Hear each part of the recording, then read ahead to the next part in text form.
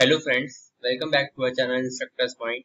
My name is Ishan Kesarwani and today friends I will be discussing one important coding question that might come in your Wipro NLTH exam.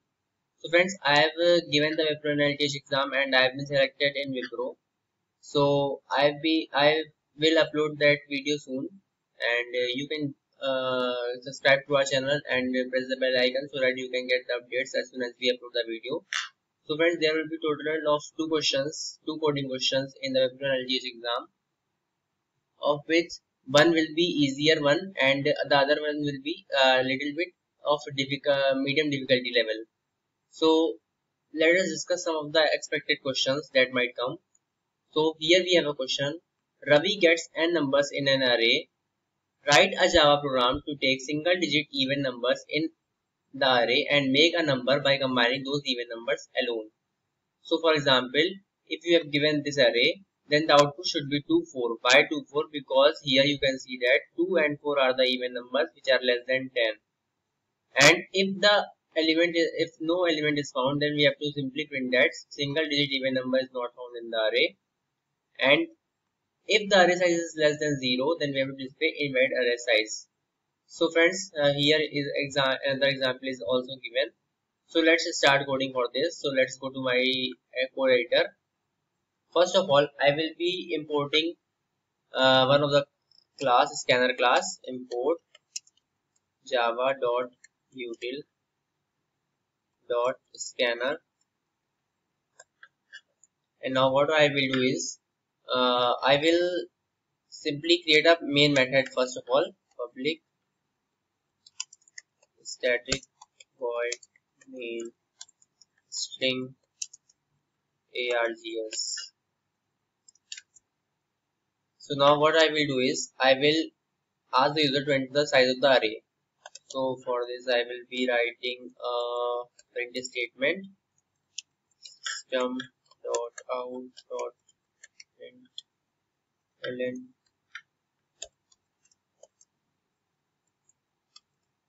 enter the size. So let's take this in the variable named as n. Int n equals to sc dot next int and now I have to check if n is less than 1 then simply print a statement as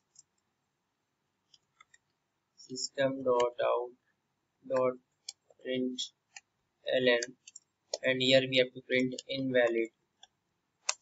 Array size and return. So that the program may not continue to execute. So now uh, we haven't imported the scanner class. I haven't created an object of the scanner class. So that's why it is showing error scanner c is equals to new scanner system dot in yes now it will not show an error. So now what I have to do is I have to take the uh, input in the array. So for this I will need an array. Int a is equals to new int. And the size will be of n and I will be using the for loop for taking the input for i is equals to 0 i is less than n i plus plus and I will have to take the input. So I will adding all the elements in my array. So a of i is equals to sc dot next change so this will take the input from the user and store it in the array. So now what I have to do is I have to traverse through the array elements. So for this I will be using another variable j for j is equal to 0 j is less than n and j plus plus. And now what I have to do is I have to check uh, what are the numbers which are less than uh, 10 and what are the numbers which are greater than 10 so let's take a flag variable here. Flag is equals to 0 and here I will check if a of j is less than 10 then we have to do this. In else part we have to do this. So what we have to do in uh, if the number is greater less than 10 we have to check that whether that number is positive or not. So here I will write a condition that if a of j modulus 2 is equals to 0 that means the number is even. So I have to print that number system dot out dot println or simply print and I will write a of j. That's it. And in the else part I will just write flag plus plus. And uh, what I else I have to do is I have to also write uh, the flag plus plus value, in here also. So that because I have to print that if suppose there are no elements which are less than 10 and are even so I need to write another statement as given in the our question. So you can see that here is given that if no not found then print single digit even numbers not found in the array. So we have to write this. That's why I have written flag plus plus here also and as well as here also so this is the main reason behind this. So after this I will write a statement. If flag is equals to n then what I have to do is I have to simply write a print statement. Let's me copy this from here. And uh, I will write println here. And I will write no element found simply no element found I'm not writing all that stuff that is that was given in the question. So that's it. And uh, let me now run this program. So run this program. Enter the size. So let me enter the 5 as the size of the array.